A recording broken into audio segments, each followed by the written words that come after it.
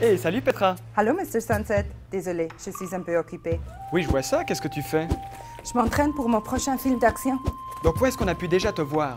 Sur Pirates of the Caribbean, Men in Black and Flight. Master Davis, à quoi est-ce qu'on reconnaît que Petra est suisse? She loves chocolate. Et sinon, qu'est-ce que tu préfères à Los Angeles? J'adore le showbiz et le lifestyle. Qu'est-ce que tu détestes à Los Angeles? Le smoke. Et enfin, si tu dois décrire la ville en un mot? J'en ai deux. Le mystère? Et la magie. Comment résumer la vie de Petra Sprecher Jeune vie au père, collège, école de théâtre, école de cirque, Cirque du Soleil. Et là, je suis à Los Angeles depuis 1999. Wow! Explosive et casse-cou, Petra n'avait plus qu'un costume à endosser, celui de cascadeuse. Je fais des combats, je saute euh, des buildings, tu prends des coups, voler dans les airs. Mais il n'y a pas de matelas. Je fais des trucs dans la voiture. C'est super dangereux. Mais reprenons depuis le début. Petra naît à Bâle. Quand j'étais petite, je voulais devenir chanteuse ou actrice.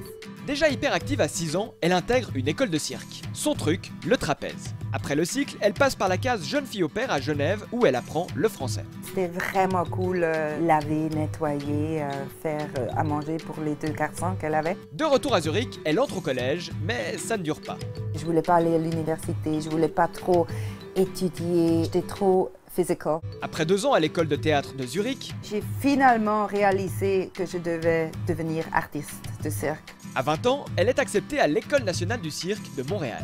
J'ai créé un numéro aérien, la corde volante. J'avais même pas fini l'école. Le Cirque du Soleil m'a appelé, ils m'ont engagé. C'est pendant une tournée américaine du spectacle Kidam et plus de 1000 shows qu'elle découvre Los Angeles. Je savais tout de suite, je vais revenir ici, je vais dé- déménager. Tu ne sais pas exactement pourquoi. C'est le je ne sais pas quoi. C'est le sentiment que tu as et tu follow. Et puis, un matin, J'ai lu un article des cascadeuses afro-américaines. J'ai pensé, oh my god, c'est moi. Grâce à son profil atypique, Petra fonce tête baissée et ça marche. Mon début, c'était vraiment bombastique. Elle fait ses débuts dans Minority Report de Steven Spielberg, puis enchaîne dans Pirates des Caraïbes, Hancock, Flight, Independence Day ou encore de nombreuses séries télé. Alors oui, Hollywood lui a ouvert ses portes, mais tout n'est pas si simple pour autant. Quand tu fais beaucoup d'argent, tu penses, oh oui, ça va venir, ça va venir, ça va venir. Mais oups, non, il n'y a pas un autre job pour deux mois peut-être. C'est les royalties qui nous aident et c'est très bon le système ici. Parce que même aujourd'hui, je reçois toujours de l'argent de Minority Report et ça arrive à tous les trois mois. Ça peut être un cent ou ça peut être 60 000 dollars. Pas facile non plus de faire sa place en tant que femme de couleur. Il n'y a pas de femme noire action hero. Je travaille moins que d'autres, c'est sûr, mais tous les jobs que j'ai reçus, c'est à cause que je suis une femme noire. Fait que moi, je suis vraiment euh, grateful.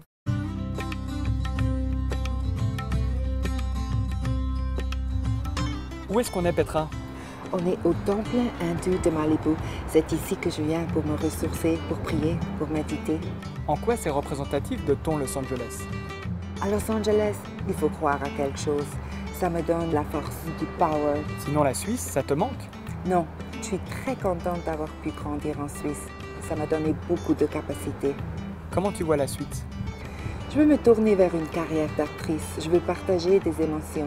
Et enfin, si tu avais un conseil à donner à ceux qui veulent se lancer? Vraiment, décide qu'est-ce que tu veux et puis fonce.